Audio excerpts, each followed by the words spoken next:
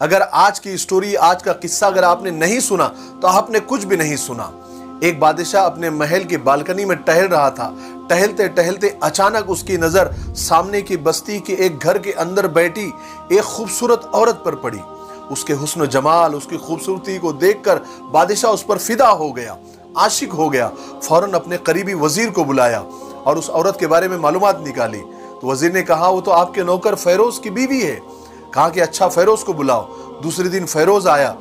बादशाह ने एक खत फेरोज के हाथ में दिया और कहा कि फलाने मुल्क के बादशाह को देना और उसका जवाब लेकर ही आना। बादशाह का मकसद ये था कि ज़्यादा से ज़्यादा दिन लगे और वो अपना काम आराम से कर सके। फेरोज ने वो खत लिया। खत लेकर वो घर गया। तकी के नीचे खत रखा। रात भर आराम किया। सुबह उठा, घोड़ा लिया और उस मुल्क के लिए निकल गया। बादशाह को जैसे मालूम पड़ा कि वो चला गया, बादशाह फ़ौरन उसके घर पहुँचा। मौका पाकर रात को ही फेरोज के घर पर जाकर दरवाज़ा खटखटाया। अंदर से आवाज़ आई, कौन है? तो बादशाह ने कहा, मैं तुम्हारे शोहर का मालिक और इस मुल्क का बादशाह हूँ। उसकी बीवी ने दरवाज़ा खोल दिया। बादशाह अंदर एंटर हुआ, जाकर बैठा मीठी मीठी बातें करने लगा और कहने लगा कि, मैं तुम्हारा मेहमान हूँ, तुम मेरी खिदमत नहीं करोगी। वो औरत समझदार थी, क्योंकि औरतों का सिक्स सेंस बहुत मज़बूत होता है। उसने पहचान लिया। कहने लगी, बादशाह सलामत, आपकी बातों से मुझे खैर की बू नहीं आ रही है। आपकी नीयत में कुछ गड़बड़ लग रही है। बादशाह जरा नाराज़ हुआ। कहने लगा, तुम जानती हो, मैं इस मुल्क का बादशाह हूँ। मैं जो चाहूँ, वो कर सकता हूँ। उसकी बीवी ने कहा, बेशक मैं जानती हूँ, लेकिन मैंने बुज़ुर्गों से ये भी सुना है कि शेर कितना भी भूखा हो जाए, वो कभी मुर्दार नहीं खाता। और आप तो उस कटोरे में पानी पीने के लिए आ गए, जिस कटोरे में आपका कुत्ता पानी पीता है। बादशाह बहुत शर्मिंदा हो गया, गुस्से से वहाँ निकल गया और जाते जाते अपना रुमाल भूल इधर बादशाह बीवी का करारा जवाब सुनकर नाकाम वापस लौट गया। उधर फेरोज को याद आया कि अरे खत तो मैं घर पर तकी के नीचे भूल गया।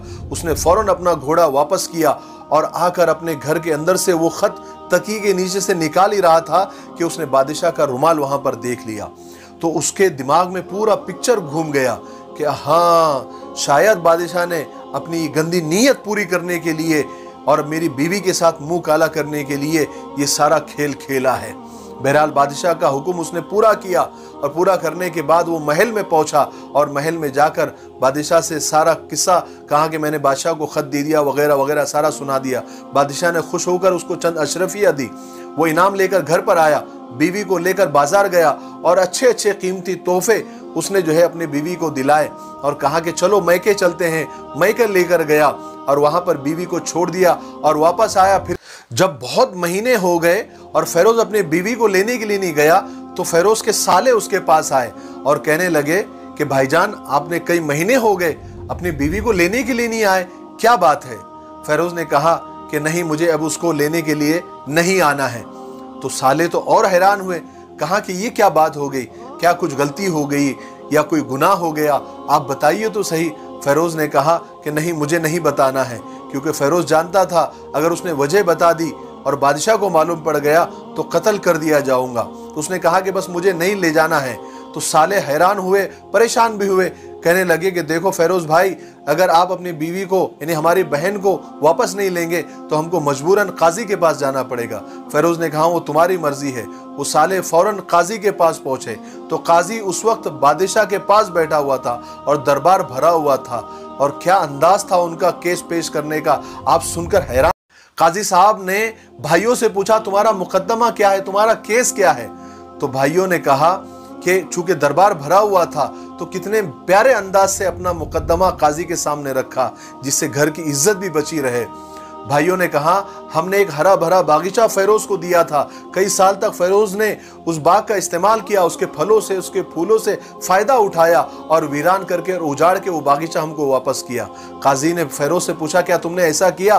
फेरोज ने कहा कि बेशक मैंने इनसे बागीचा लिया था, लेकिन जिस हालत में लिया था, उससे अच्छी हालत में वापस किया। तो काजी ने पूछा, उसकी वजह क्या है वापस करने की?